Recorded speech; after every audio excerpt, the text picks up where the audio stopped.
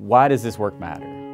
Why does this work matter? Anytime I get a chance to talk to folks, I like to start with this question. Why do we do this work and why does it matter? It matters for lots of reasons. It doesn't take much to look around the world and see that not all is right. We see institutions that are not trusted, leaders that are not trusted, and part of this is rooted in a sense that leaders lack the integrity to be responsible stewards of the institutions that frame our world. And we in higher education in my work, especially in the professional schools, have an opportunity and an obligation to do something about this. What does that mean? Well, it means that we prepare students to think holistically about their professional and personal responsibilities.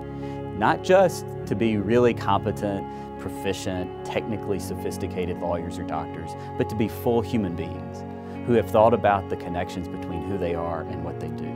For only after we have done some of this work that enables our students to be seen in all of their humanity and to take seriously the broad range of questions and responsibilities that they will face as professionals.